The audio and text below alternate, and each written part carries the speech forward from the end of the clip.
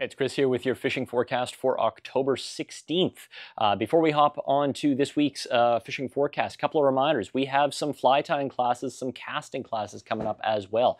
Uh, this weekend, we've got our second round of the Spey School. There's a couple spots left for that. So if you've been wanting to up your Spey casting game, definitely check that out while you still can.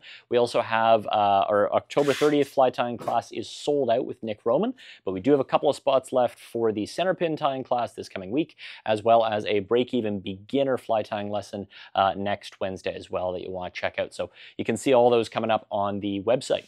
Uh, with that, what do we have in store for fishing? Well, uh, weather looks nice this week. We've got nice, cool temperatures, uh, borderline cold almost, so don't forget the gloves when you get out there, uh, which is good for steelhead and salmon fishing. Um, this time of year, we're mostly focused on our steelhead and those brown trout that are starting to show up. Um, what we'd say is that, you know, we haven't had a lot of rain this week, so focus on the rivers with better water flows.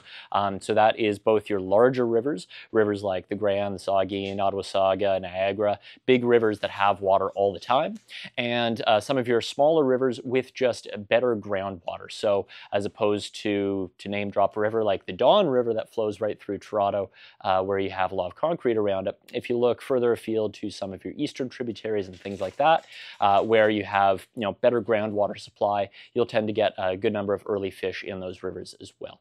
Uh, so if you'd like some specific recommendations on where we would be hitting ourselves, definitely get in touch with us. We'll be happy to help you out. But that's a good sort of starting point as to where we'd be thinking thinking. Uh, now, when you're talking early season steelhead, there's a couple of key points to keep in mind.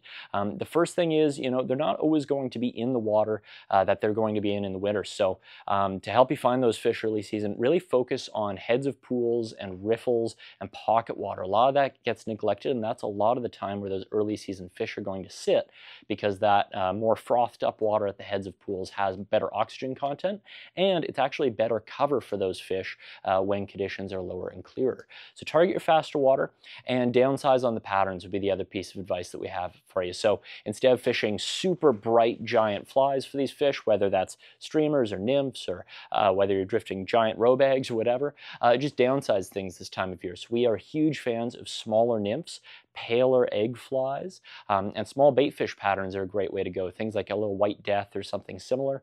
Um, just looks like a natural bait fish. It also lets you cover water fairly quickly too uh, while still not spooking fish. So that should help you get into those early season fish. We're definitely hearing more and more reports of steelhead being caught every day, so things are shaping up nicely, uh, but just some pointers to help you get going.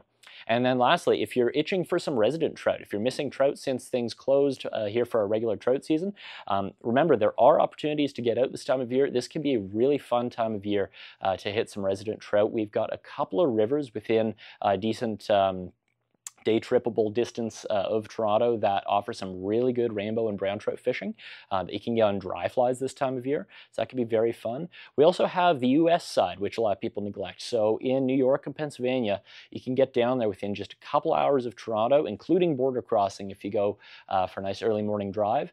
And it can make for a really fun day trip to get some resident trout, potentially some October dry fly action too. So if you're not sure where to start there, uh, we can definitely point you in the right direction. We've done it ourselves. We love doing it as a, a way to mix up your fishing a little. And uh, a lot of people neglect it because they think it's too far afield, but it's a very easy day trip to do too. So something else to think about for your weekend fishing.